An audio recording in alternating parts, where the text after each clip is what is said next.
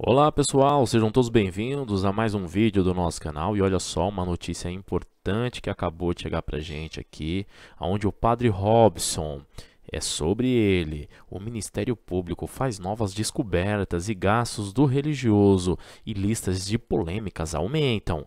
Vejam só, envolto em várias polêmicas nos últimos dias, o padre Robson de Oliveira Pereira, de 46 anos, teve seu nome ligado a mais um processo de investigação do Ministério Público de Goiás. Segundo a apuração do MP, o religioso chegou a investir 1,3 milhões em projetos de exploração de possíveis jazidas no estado.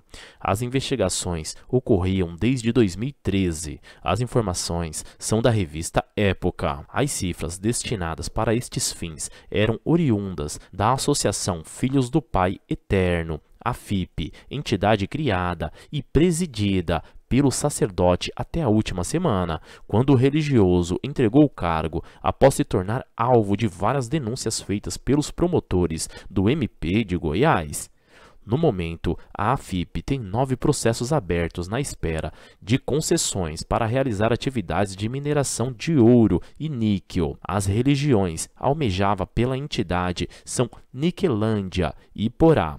Compestres, de Goiás e Trindade. Nenhum dos processos resultou na permissão para o início das atividades com fins comerciais. Os recursos de minério são patrimônio da União e toda a exploração ocorre por intermédio de uma concessão que, para ser liberada, necessita de uma fase de estudos. Dos 13 processos pelo AFIP, 12 ainda estão nessa etapa. Advogado do religioso Pedro Paulo Medeiros afirmou que o Estatuto Interno da AFIP libera a associação para aturar na exploração de minérios. Tido como um padre de celebridade por ser cantor e apresentador de TV, Padre Robson teve sua imagem manchada após vir à tona as suspeitas de desvios de dinheiro em larga escala.